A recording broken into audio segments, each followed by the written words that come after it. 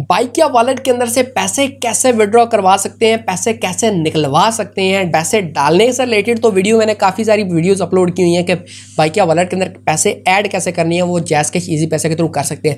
लेकिन आपके वॉलेट के अंदर पैसे पड़े हुए हैं बाइकिया वॉलेट के अंदर, चाहे वो इजाफी आमदनी की सूरत में आपको मिले हैं, यानी कि आपको कमीशन मिला है बाइकिया का, या फिर बोनस मिला है, या किसी भी सूरत में आपको पैसे मिले हैं, या आपने पैसे कोई गलती से ऐड करवा दिए, निकलवाना चाहते हैं तो उस हर एक सूरत के अंदर आप लोग एक ही तरीका फॉलो करेंगे और बाइकिया वॉलेट के अंदर से पैसे निकलवा के आप लोग अपने ईजी पैसा जैस के ही अपने बैंक अकाउंट में ले सकते हैं। वो कैसे लेंगे, आज इस वीडियो के अंदर मैं बताऊँगा तो वीडियो को शुरू से एंड तक लाजमी देख लीजिएगा, ताकि कोई भी बाढ़ मिस ना हो। असल फ्रेंड्स मेरा नाम है उस्मान और आप देख रहे हैं टॉप फॉर मी ऑफिशियल तो चलते हैं वीडियो की तरफ़। तो यहाँ पर आप लोगों ने अब बाइकिया एप्लीकेशन के अंदर आ जाना है वॉलेट के अंदर आ जाना है। वॉलेट के अंदर आने के बाद यहाँ पर आप लोगों के सामने ये जो टॉप के ऊपर ऑप्शन आ रहा है, ये पैसे मेरे लिखे मैंने दो रुपये इसके साथ टॉप के ऊपर ये जो ऑप्शन आ रहा है इस ऑप्शन के ऊपर मैंने क्लिक करना है। आप लोगों ने भी इसी ऑप्शन पे क्लिक करना है।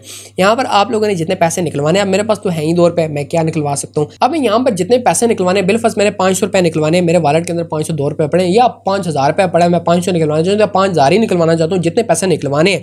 आप लोगों ने वो लिखने हैं पैसे। उसके बाद आप लोगों ने ईजी पैसे में पैसे चाहिए जैस कैश में चाहिए बैंक अकाउंट में चाहिए, जिस भी चीज़ में आपको चाहिए, वो मेथड आपने सेलेक्ट कर लेना है। मैं ईजी पैसा कर लेता हूँ। यहाँ पर मैंने मोबाइल नंबर अपना लिखना है, जो भी मेरा मोबाइल नंबर होगा, वो दरखास्त करने के ऑप्शन पे क्लिक करूँगा, यहाँ पे वो कह रहा है कि दर्ज करदा मौजूदा बैलेंस से ज़्यादा है, ठीक है? क्योंकि मेरे बैलेंस मेरे वॉलेट के अंदर पैसे कम है और ये बैलेंस मैं ज़्यादा लिख रहा हूँ, ठीक है? यहाँ से मैं दरख्वास्त पे क्लिक करूँगा तो बाइक क्या अपना कमीशन काटता है कोई पचास सौ रुपया, वो अपना कमीशन वहाँ से काटने का ऑप्शन देगा, उसको अलाउ करेंगे।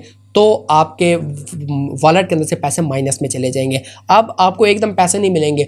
उसी दिन, एक ही दिन के अंदर अंदर कई दफ़ा, वैसे तो वो बाइक कहता है कि twenty four hours working days जो ट्वेंटी फोर आवर्स के होते हैं, ठीक है, उनके अंदर आपको पैसे दे दिए जाते हैं। लेकिन लेकिन बाइक क्या एक ही दिन के अंदर आपको पैसे देता है? लेकिन कभी कभार ऐसा होता है कि वो थोड़ा लेट कर दे। वरना एक ही दिन के अंदर तो दो चार घंटों के अंदर अंदर आपके वॉलेट आपके ईजी पैसा जैस के अंदर या किसी भी बैंक अकाउंट के अंदर जहाँ पे पैसे आप ऐड करवाना चाहते हैं, वहाँ पे पैसे आ जाते हैं। तो आप लोग इस तरीके से बाइकिया के वॉलेट के अंदर से पैसे निकलवा सकते हैं। उम्मीद करता हूँ आप दोस्तों को आज की वीडियो पसंद आई होगी। वीडियो पसंद है वीडियो को लाइक कर दीजिएगा। चैनल पर चैनल को लाजमी से सब्सक्राइब कर लीजिएगा। घंटे के निशान को भी दबा दीजिएगा ताकि बाइकिया से रिलेटेड कोई भी वीडियो अपलोड हो तो उसका नोटिफिकेशन सबसे पहले आप लोगों को मिल सके। तो मिलते हैं नेक्स्ट वीडियो में। तब तक लिए इजाज़ दीजिए। अल्लाह हाफिज़।